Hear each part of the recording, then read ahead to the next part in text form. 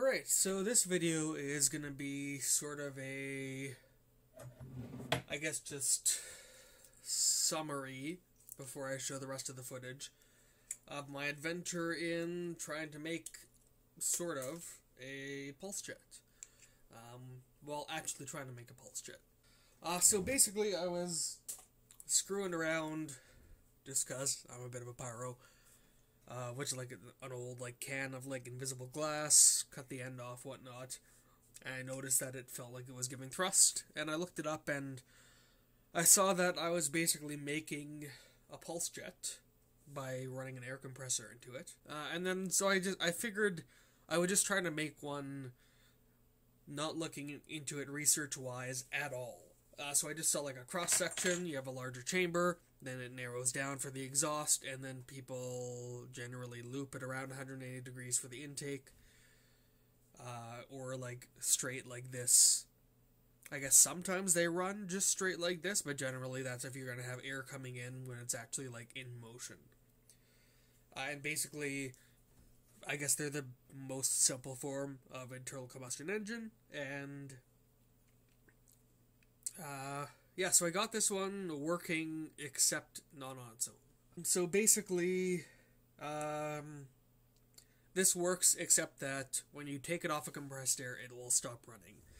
And I don't know if that's because my combustion chamber size compared to my exhaust and intake size is too small. I, I mean, this feels like it might be a bit large for the internal diameter of this, which is basically a one inch copper male to male coupler. Female to female coupler? It's a copper coupler down to like two things that size down to half inch.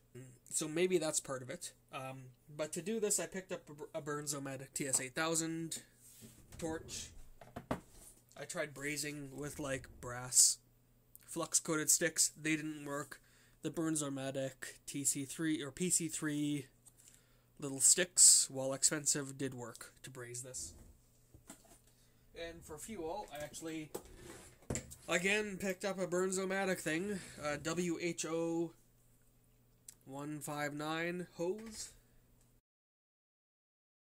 And it's just a extension hose. And then I actually have a couple of like lawnmower, weed whacker, carb fuel things that actually fit together without the tape. And they just fit right into there. So you just take a uh, Schrader valve tool, knock off the Schrader valve from there, and then you can get a nice high flow from your propane tank out of this. So that was the fuel source. I have my little uh, tube basically just coming in at like an angle and then firing straight, so the gas fills up this area pretty nicely. And yeah, I mean, as long as you have compressed air coming in, and I've tried with like 180 degree intakes and stuff and whatnot, and you'll see from the video, as long as you have compressed air going in, this actually runs. Um, so it actually it runs quite well. It's it's a lot throatier than I thought it would be. I was expecting it to be a lot higher pitched, but it's actually nice and throaty. It sounds pretty nice. Um, but that might be because I mean this is too big. I don't know. They seem to generally be quite high pitched, but maybe that's the videos. But this one was really a nice low pitch. It got super loud to the point where it probably would have been not hearing safe for very long uh, if it ran on its own. Um, I did try extending the tube out, the exhaust, to, I guess, extending the tube um, lowers the idle speed, and shortening it increases it. Um, sorry, uh, tired and my nose is like super blocked, which is really screwing with my train of thought right now. Um, I don't know if I'll be able to get this to run on its own without a compressor. I feel like I'm kind of close, but I don't know exactly why it won't run. And I didn't. I don't have like a. I didn't have a flared like um, opening for the few the intake for the air. Maybe that's why. Maybe I'm just not starting it right. Maybe it's the proportions of this. I could size this down to like quarter inch and have quarter inch tubing for the intake and the exhaust, or just the exhaust and have a half inch intake. I'll probably post this somewhere just to get input on it. but I couldn't really see much in terms of people doing copper pipe pulse jets, and that is probably because the temperature when they do run gets hot enough that it'll probably just blow apart the brazing. Um, but I really like the idea of doing it. I don't have a welder, so this is um, well, I have a stick welder, but that's not going to work for this sort of thing.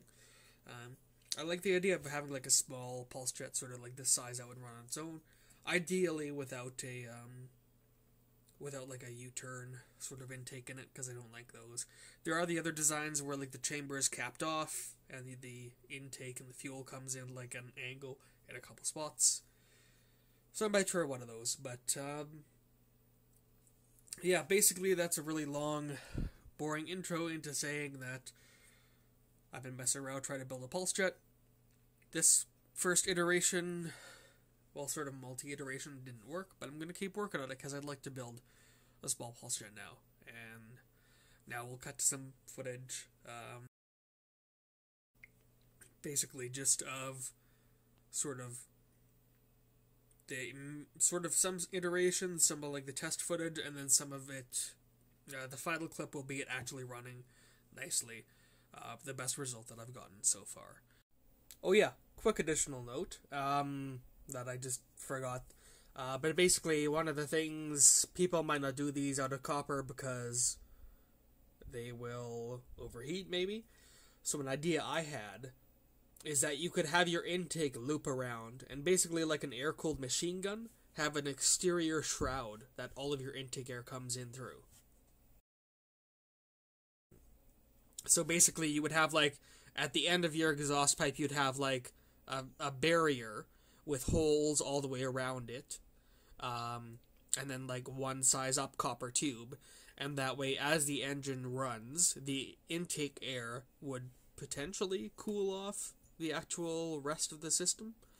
Um, so that would affect how it runs, but it might pull enough air that it would actually help cool off the copper pipe and keep it running without self destructing.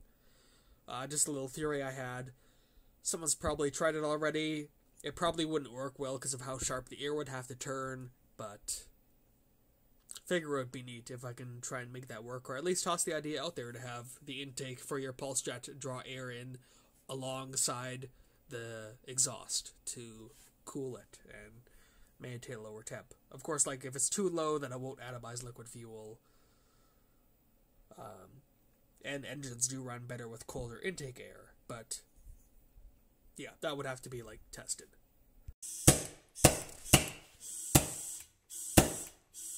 Okay, just do that about 200 times a second.